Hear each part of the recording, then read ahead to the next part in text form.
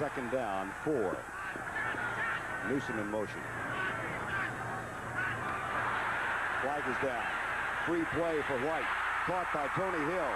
If the play stands, Tony Hill has now set a single season record of 74 catches. He breaks a tie he had with Ron Springs. And that also is the 59th consecutive game in which he has caught a pass, breaking a tie he held with Drew Pearson. Defense, right side of the line, offside, decline, first down. Fred Silva, the referee, and Tony Hill occupies a couple of spots in the Cowboy record book alone.